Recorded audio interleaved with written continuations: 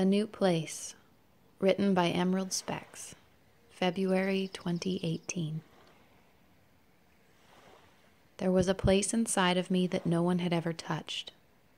That's where I found you, waiting patiently, as if you always knew I would return.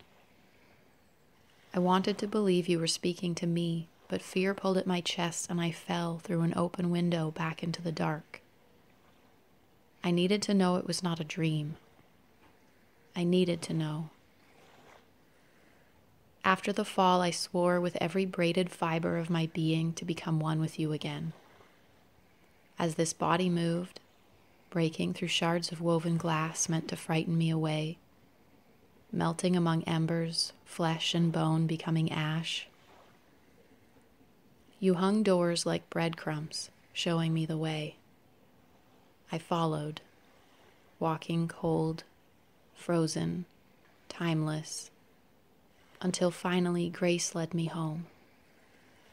And now I feel you. I know I can never truly be lost again.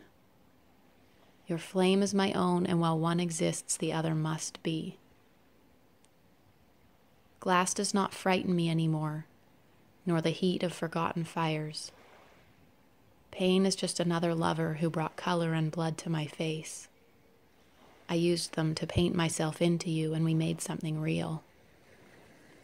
Every attempt to break me only pulled us closer, made me stronger, fueled my will to love.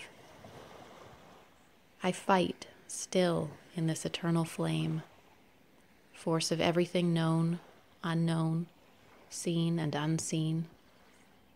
It guides me through darkened worlds, quiet moments in light, calling out, giving hope to each stray thought and faded memory, reminding me who I am, what I search for.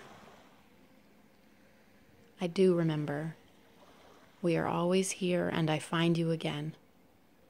In presence, awareness, truth, knowing there has never been a moment we were not together, in love, perfectly in love.